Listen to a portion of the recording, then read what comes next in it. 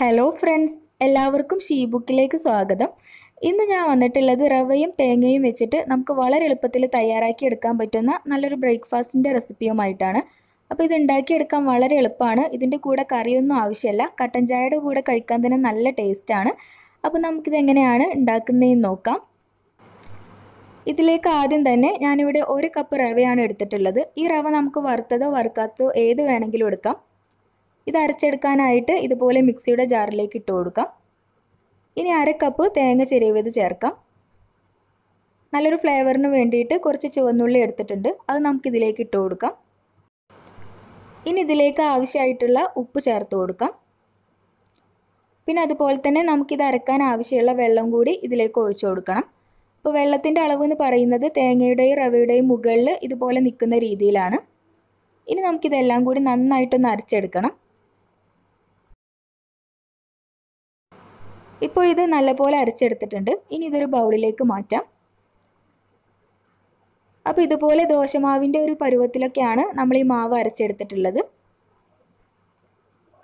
ഇനി നല്ലൊരു ഫ്ലേവറിന് വേണ്ടിയിട്ട് അര ടീസ്പൂൺ ചെറിയ ജീരകം അതായത് നല്ല ജീരകം ഇതിലേക്ക് ചേർത്തിട്ട് നന്നായിട്ട് മിക്സ് ചെയ്യാം. അപ്പോൾ നമ്മുടെ ബ്രേക്ക്ഫാസ്റ്റിലേക്കുള്ള മാവ് റെഡി ആയിട്ടുണ്ട്. ഇനി നമുക്കിത് ദോശ പോലെയാണ് ചുട്ടെടുക്കേണ്ടത്. അപ്പോൾ അതിനായിട്ടൊരു പാന് സ്റ്റവിൽ വെച്ച് ചൂടാക്കിയിട്ടുണ്ട്. ഇതിൽ നമുക്ക് കുറച്ച് ഓയിൽ ഇതുപോലെ ബ്രഷ് ചെയ്ത് കൊടുക്കാം.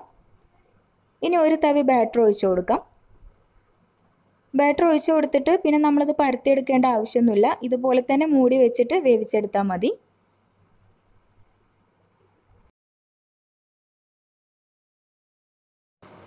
ഇനി ഒരു ഭാഗം ആയിക്കഴിഞ്ഞാൽ മറിച്ചിട്ടിട്ട് മറുഭാഗം കൂടി നമുക്ക് ചുട്ടെടുക്കാം.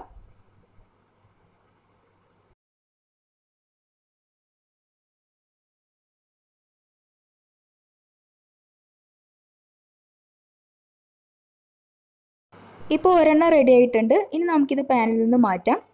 ബാക്കിയുള്ളത് കൂടി ഇതുപോലെ ചുട്ടെടുക്കണം. അപ്പോൾ ഇത്രയേ ഉള്ളൂ. വളരെ സിമ്പിളായിട്ടുള്ള അതുപോലെ തന്നെ നല്ല ടേസ്റ്റി ആയിട്ടുള്ള നമ്മുടെ വെറൈറ്റി ബ്രേക്ക്ഫാസ്റ്റ് ഇവിടെ റെഡി ആയിട്ടുണ്ട്. അപ്പോൾ ഉണ്ടാക്കാനൊക്കെ വളരെ എളുപ്പമാണ്.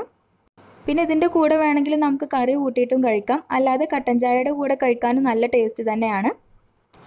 പിന്നെ നമ്മൾ ഇതിലേക്ക് ചുവന്നുള്ളിയും അതുപോലെ ജീരകവും ചേർത്തതുകൊണ്ട് തന്നെ നെയ്പത്തിരിയുടെ ഒക്കെ ടേസ്റ്റാണ് ഇത് കഴിക്കുമ്പോൾ. അപ്പം നിങ്ങൾ എന്തായാലും ഉണ്ടാക്കി നോക്കിയിട്ട് അഭിപ്രായങ്ങളൊക്കെ അറിയിക്കുക. അതുപോലെ തന്നെ വീഡിയോ ഇഷ്ടമായിട്ടുണ്ടെങ്കിൽ തീർച്ചയായിട്ടും ലൈക്ക് ചെയ്യണം. നിങ്ങളുടെ ഫ്രണ്ട്സിനും ഫാമിലിക്കൊക്കെ ഷെയർ ചെയ്ത് കൊടുക്കുക.